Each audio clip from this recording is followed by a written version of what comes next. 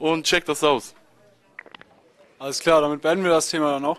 Ähm, anderes Ding, ähm, du hast ja, wie gesagt, wir wollen heute nicht über deinen musikalischen Werdegang und deine musikalische Zukunft sprechen.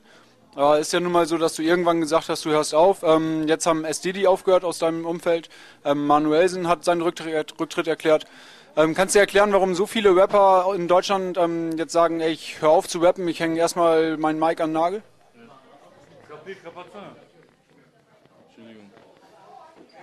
Also ich habe das schon beobachtet. Ich habe damals, äh, als ich ziemlich abgefuckt war, in, äh, in meinem Blog geschrieben, dass ich mich erstmal erstmal zurückziehen werde, dass ich noch nicht weiß, wie es mit meiner Solo-Karriere weitergeht. Das weiß ich immer noch nicht. Und noch habe ich auch keine Solo-Sachen angekündigt oder rausgebracht oder was auch immer. Es kann natürlich weitergehen, aber dann wann, wo, wie, was, das ist noch nicht klar und wird auch nicht klar sein. Deswegen bin ich immer noch in Pause. Komischerweise, lustigerweise, danach haben sich eine Million Leute irgendwie ähm, geblockt und eine Million Leute Tracks rausgemacht, dass sie jetzt auch aufhören und so weiter. Ich glaube, es geht, äh, ich habe auch letztens was gesehen auf mixfreeraw.deluxe.de sorry, dass ich jetzt so Schleichwerbung mache, äh, wo die sich darüber unterhalten, Falk und Steiger und so weiter. Das fand ich sehr interessant. Und ich muss sagen, es hängt wirklich mit so einer Illusion zusammen und mit Sachen, die man sich in seinen Texten quasi selber vorgerappt hat, die man aber später nicht einhalten kann. Und so sind sie alle äh, irgendwie eingepisst und wollen nicht mehr weitermachen. Bei uns bei GD war das immer schon so. Wir waren nicht am fettesten im Game. Wir hatten immer Probleme, irgendwie über die Runden zu kommen, äh, unsere Mucke zu machen, ohne Kopfschmerzen. Bei uns, äh, die Jungs machen alle nebenbei was, weißt du, ob sie einen richtigen Job haben, ob sie zur Schule gehen. Und wir schämen uns nicht dafür, Mann. Weißt du, wir haben diesen Konflikt schon vor Jahren äh, niedergelegt, weißt du? Schon seit dieser Grand Branks Zeit, wo wir öffentlich sagen, Mann, wir sind Hartz IV in Grand Branks, to the Branks, was auch immer. Hier ist, äh, weiß ich nicht, hier ist das Viertel mit der höchsten Arbeitslosigkeit, habe ich ja schon eine Million Mal gesagt, in Köln. Und äh, wir haben durch diesen Filter das schon so original abgelegt und das ist, wir sind trotzdem die coolsten, weißt du? Das kann uns keiner übel nehmen und das würde ich nur jedem empfehlen, Mann. Weißt du, ich will jetzt nicht den anderen Leuten Tipps geben, wie sie ihr Image aufpolieren oder was auch immer, aber ihr solltet euch davon frei machen ich habe auch mit Steiger telefoniert äh, nach diesem Interview, weil wollte ich ihm Props geben und so weiter. Er hat mir auch gesagt, man, die müssen sich alle von diesem Film freimachen, dass sie in irgendeinem äh, Druck sind oder so. Es, es gibt ein, zwei Leute, die die können richtig Reibach machen mit ihrer Mucke. So, aber wenn du das nicht bist, Alter, was machst du jetzt? Willst du jetzt äh, tot umfallen? Weißt du, dann mach doch deinen Job, Alter, und mach nebenbei Mucke. Verstehst du? Ähm, dann, dadurch wird ja die Welt nicht anders. Es ist halt die, eine ganze Sache, wie du das definierst. Wenn du dich dadurch nur definierst, wie viel Geld du verdienst, Alter, dann werd doch Zuhälter oder so, weil dann hast du mehr Kohle, weißt du? Ähm, bei uns die Zuhälter in, im Grimberg, wenn die uns sehen, uns Rapper, weißt du, die schütteln nur den Kopf von wegen, das bringt doch alles nichts, warum macht ihr das? Aber wir machen das, weil wir das lieben so. Und daher hänge ich auch immer noch da dran. Daher ähm, pushe ich auch immer, immer noch äh, Leute, die noch nicht so bekannt sind wie ich. Daher mache ich Kollabos, daher bringe ich Köln, versuche ich auf die Map zu bringen. Weißt du, es gibt so ein Ideal, dem die meisten folgen, aber man muss einfach nur dieses Ideal in seinen Kopf sprengen und einfach Mucke machen und äh, dann wird es, dann wird alles von alleine kommen, wenn die Mucke gut genug ist, weißt du? Und das finde ich können wir standhalten und daher mache ich mir keine Sorgen. Jeder von den Jungs macht irgendwie seine Kohle und äh, wir sind trotzdem bestimmt die dritt- oder viertbekannteste Crew Deutschlands. Weißt du, man, es geht halt nicht anders. Weißt du, hoffentlich kommt der Tag irgendwann, wo wir alle davon leben können. Zurzeit kann äh, leider nur ich davon leben, aber wir sind dran, dass das für jeden so ist, weißt du es ist auch für mich schwer, weißt du. Ich habe auch meine Sachen. Ich muss meine Steuerscheiße äh, zurückzahlen. Ist nicht ganz so viel, wie die Leute so äh, denken, so, weißt du. Ich war jetzt kein Millionär oder so, aber ich habe schon gut verdient eine Zeit lang. Das muss ich auch zurückzahlen, aber ich stelle mich dem wie ein Mann, Alter. Weißt du, was soll ich jetzt machen? Soll ich den Kopf in den Sand stecken und sagen, oh nein, ich verdiene nicht so viel wie ein anderer, deswegen kann ich jetzt nicht weitermachen? Scheiß drauf. Weißt du, das ist ja das Einzige, was man so sagen kann. Irgendwelche wirtschaftliche Scheiße. Wenn es um Talent geht, wenn es um die um den Charakter geht, wenn es um um die die Ausstrahlung geht, um, äh, ums Entertainment, weißt du? Da kann keiner mit uns ficken und deswegen spricht uns auch keiner auf sowas an. Das ist nur, was ich darüber denke, Alter. Ich bin äh, froh, ich kann davon leben. Ich sehe das als ein Privileg. Es kann nicht jeder davon leben. Ich sehe das als ein Privileg. Ich habe Privilegien. Ich kann, äh, ich mache bei Promi Dinner mit ich mache solche Sachen, weißt du, ich habe einen Celebrity-Status, den, den nicht viele anderen haben im Deutschrap. Dadurch lebe ich noch. Ich bin froh, Mann, dass, dass ich diese Chance habe, dass ich diese Gabe habe und dass ich solche Chancen habe und die nutzen kann.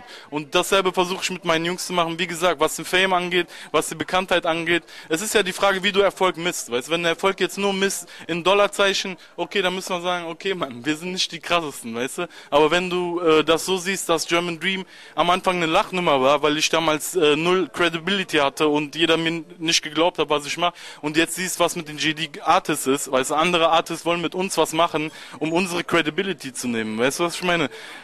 Also es hat sich schon einiges gewandelt. Kannst du noch kurz was zu... Okay. Hau rein, ne, Junus? Hau rein, ne? Junus. Ciao, King rein, ne? Mama Pavitschka. Jetzt Fernsehen gucken auf 70 Zoll. Hau rein, Bruder. Mama Pavitschka. Eko, kannst du noch kurz was zu SDD sagen? Also ist das ähm, fest, dass er wirklich raus ist aus dem Game oder gibt es aber ihm die Überlegung, eventuell wieder einzusteigen? Seid ihr soweit? Also, habt ihr? Okay. Der gute SDD, der ist ein äh, Homie von mir. Das ist auch immer noch. Er hat sich dazu entschieden, nicht mehr zu rappen. Ich respektiere das. Mm, er hat mir das irgendwann mal gesagt, hat einfach bei mir geklingelt und mir das erzählt. Ich respektiere das, wie gesagt. Er ist auch schon alt genug. Er rappt ja auch schon, eigentlich rappt er länger wie ich. Weiß, er muss wissen, äh, was er möchte. Ich, äh, wir hatten letztens hier Straßenfest. Da hat er, glaube ich, Bushido und Savage gedisst. Es ist nicht so, dass wir das von ihm gewollt haben oder dass wir äh, komplett dahinter stehen und das gefeiert haben. Es ist so, er hat das nach seinem eigenen Kopf gemacht. Er hat das auf seinem Herzen. Ob er es jetzt gemacht hat, um uns zu unterstützen, um uns zu helfen, das weiß ich nicht. Ich habe an dem Tag nicht mit ihm geredet, weil ich selber total in Trouble war. Er ist auch ein schwieriger Typ, Mann. Wir mögen ihn, wie er ist, weißt du. Wenn er irgendwann mal sagt, ey, ich will wieder rappen, sind wir die Letzten, die ihn nicht äh, auf den Tracks mit, mitmachen lassen. Aber äh, ich, ich muss mich fokussieren. Wir haben eh nicht das größte Budget und ich habe nicht die größte Zeit der Welt, Alter. Ich muss mich auch um meinen eigenen Arsch kümmern. Das heißt, wenn ich mich um andere Jungs kümmere, dann will ich auch natürlich, dass das irgendwo was fruchtet, weißt du. Deswegen bevor ich von ihm nochmal ein Solo machen würde, würde ich auf jeden Fall mit ihm erstmal stundenlang reden, ob er das überhaupt noch will, weil ansonsten kann ich dieses Privileg jemand anders zusprechen, dass, äh, dass man einfach eine CD rausbringt, weißt du? Das war bei uns auch so, Alter. Die ganzen Jahre hat, haben sie gesagt, GD bringt nichts raus, GD bringt nichts raus. Ja, Mann, mir wurde von Tag einen auf den anderen einen Tag hatte ich noch die Möglichkeit zu sagen, ey, BMG, ich will, dass der rauskommt. Und auf dem anderen Tag war es auf einmal weg. Ey, ich hatte aber den, die Leute schon im Boot, Mann. Und musste den trotzdem äh, diesen Traum erfüllen und dieses Versprechen äh, bestätigen, was ich gegeben habe. Das hat wieder mich ein, zwei Jahre gekostet, aber im Endeffekt haben wir jetzt Releases. Wir hatten das ST-Album, wir haben jetzt Farid Bang-Album, wo wir nur positives Feedback bekommen haben. Wie ich sage, Mann, Erfolg misst sich äh, in vielerlei Hinsicht, weißt du? Durch den Ruf auch guck mal, so ein Farid Bank zum Beispiel, der kriegt jetzt äh, Feature-Anfragen von wirklich äh, guten Namen so. Wenn er mal irgendwann ein Album macht, kann ich mir vorstellen, dass da wirklich eine Elite von Features drauf sein wird. Ich kann mir vorstellen, dass es äh, sich auch viel mehr verkaufen wird. Ansonsten bringen wir noch Caprix raus. Es äh, wollten wir noch dieses Jahr, wahrscheinlich wird es Anfang nächsten Jahres. Der ist die gute Seele von unserem Team, gute Seele von Köln. Einer, der schon Jahre bei mir ist, der schon jahrelang darauf wartet, rauszukommen ein sehr, sehr guter persönlicher Freund von mir, wo das mir auch am Herzen liegt, dass das endlich rauskommt.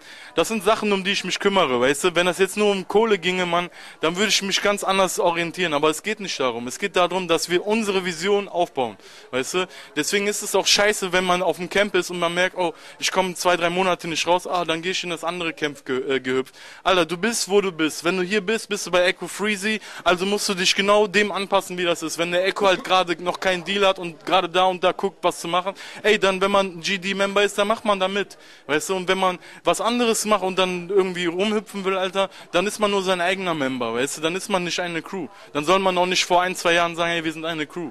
Weißt du, wir wollen, ich will nur meinen Hack, weißt du? So, äh, Graham Branks, Alter, keine Ahnung, ich habe den Faden verloren.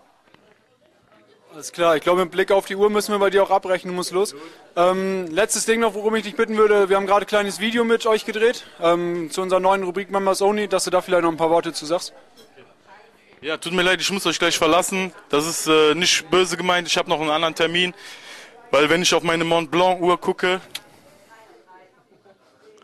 ähm, dann habe ich schon 11 Uhr. Ey, äh, ja, wir haben 16 Bars.de gemacht. Ich fand's geil. Vor allem fand ich geil, dass es jetzt so spontan ging. Farid ist drauf, Summer ist drauf, Cupkicks ist drauf, Ice Age ist drauf. Einfach unsere Jungs, Mann.